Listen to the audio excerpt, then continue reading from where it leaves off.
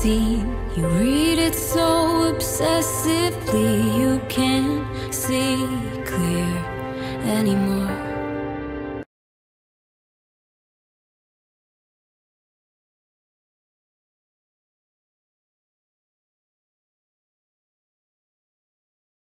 Herzlich willkommen zu den Impulse Tag X. Heute mit dem Thema Optimisten sind Pessimisten mit Erfahrung. Ich bin Martina Haller, ich bin Trainerin für Kommunikation und Transformation, internationale Sprecherin und heute Abend Ihre Moderatorin. Und der erste Punkt ist gleich, wir sind heute live Seid ihr einverstanden mit einem mit einem wertschätzenden Du? Denn wir kennen uns untereinander, die Impulsgeberinnen und wir sind ja auch untereinander schon bei einem wertschätzenden Du. Und hinterher nach den Impulsen dürft ihr gerne eure Fragen stellen, direkt an die Impulsgeber und wir werden euch diese Fragen auch gleich beantworten und es gibt vielleicht sogar auch noch diesen Workshop-Charakter. Der Impulsgeber, Initiator Ovidiu Bertin hat ähm, sowas schon angedeutet und er ist auch heute Abend gleich der erste Sprecher. Haben Sie sich das Motto, das Lebensmotto aufgeschrieben? Haben Sie es wirklich notiert? Wenn mein Warum groß genug ist, kommt das Wie von ganz alleine. Wunderbar, Dankeschön. Ja, herzlich willkommen noch zu denen, die dazugeschaltet sind und vor allen Dingen auch die, die sich später die Aufzeichnung anschauen. Denn von den einzelnen Impulsgebern und Impulsgeberinnen gibt es später ein Zusammenschnitt und wir können in unserem YouTube-Channel alle Impulse nochmal hören. Und wir haben schon so viele wertvolle Impulse bekommen in den letzten ja, Monaten, Jahre. Wir hatten ja auch dieses Jahr schon unser einjähriges Jubiläum, eine Jubiläumsimpulsgebertorte haben wir bekommen. Also, und wir können uns so auch die Impulse immer wieder mal anschauen und auch dann die Notizen dazu machen. Und äh, wofür sind diese ganzen Impulse hier denn überhaupt gedacht? Ja, die, unsere Impulsgeber werden dir zeigen, wie du die Kraft finden kannst, um dich neu zu entdecken, dich selbst zu motivieren und deine gesetzten Ziele auch wirklich zu erreichen.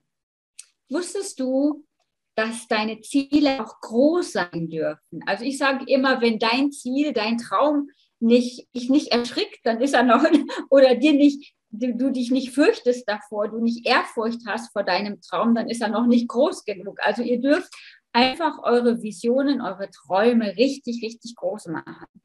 Und du kannst Schritt für Schritt neue Perspektiven entwickeln und umsetzen. Und manchmal brauchst du einfach nur das richtige Werkzeug. Und dafür sind wir da, dass wir mit diesen kleinen, feinen Impulsen und auch verschiedenen Werkzeugen dich weiterbringen in deinem Leben. Und diese Impulsgeberin ist heute zum ersten Danke, danke schön für deine liebevolle Anmoderation. Ich bin gleich gerührt hier.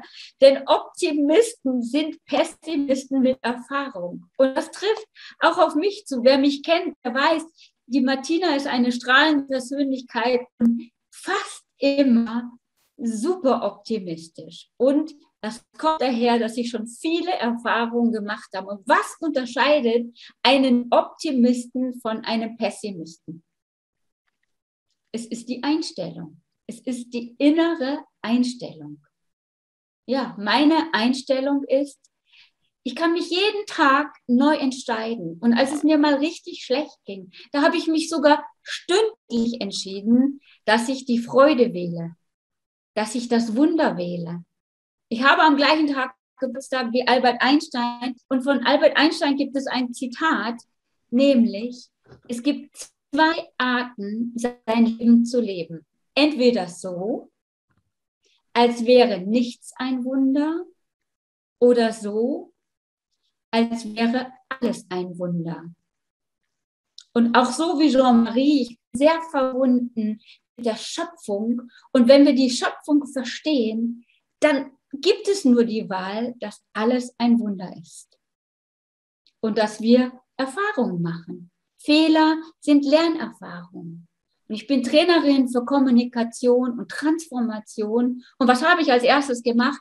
Mal gegoogelt. Und was heißt denn Optimismus? Und wo kommt der Wortursprung her?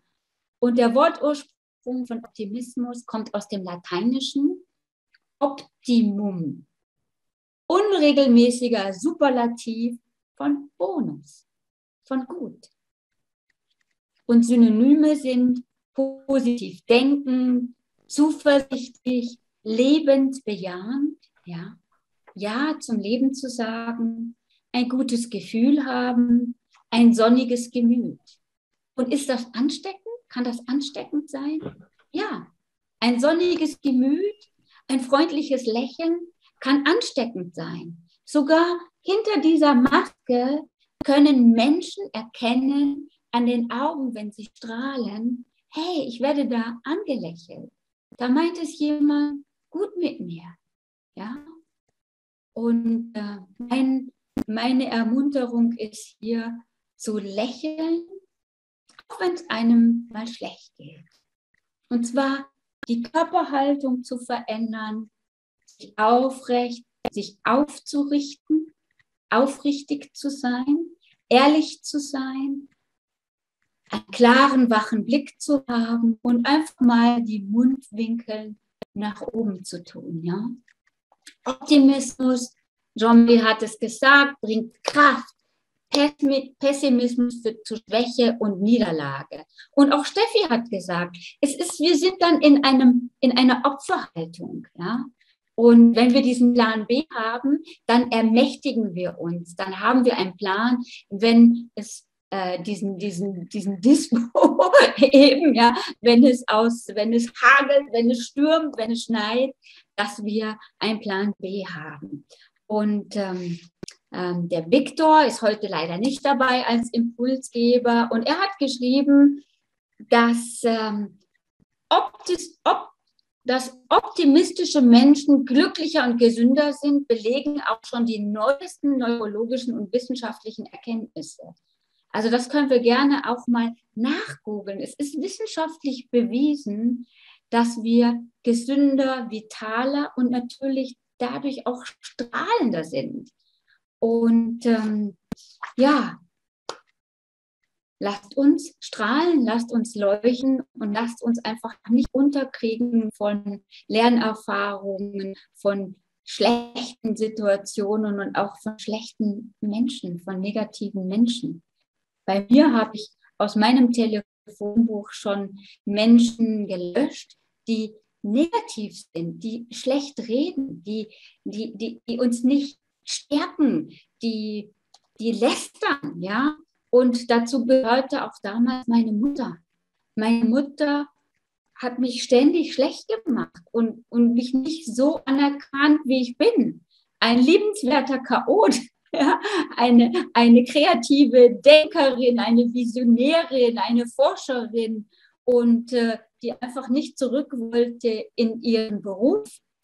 Mein Beruf ist Hotelfachfrau. Und Hotelfachfrau, ihr wisst es, es ist auch super, super anstrengend. Und es war ein Weg zu meiner Berufung heute und nicht mein Beruf. Ja? Und äh, heute habe ich Frieden mit meiner Mama, denn irgendwann hat sie mal gefragt, hm, was habe ich dir denn angetan, dass du nicht mehr mit mir sprechen möchtest? Und habe gesagt, ich möchte schon mit dir sprechen. Wenn du mich so nimmst, wie ich bin und mich nicht ständig verändern möchtest. Und ähm, ja, ich habe auch zwei Kinder, zwei erwachsene Söhne. Und Schöne ist, was ich ihnen mitgegeben habe, das ist auch so ein, ein, ein Tipp jetzt für euch, ich kann meine Kinder bedingungslos lieben, meinen Partner bedingungslos lieben. Ich muss nur nicht immer das Verhalten lieben. Wenn jemand wütend ist, ich muss das Verhalten, dass er gerade wütend ist, das muss ich nicht lieben. Und dennoch weiß die andere Person, ich liebe bedingungslos.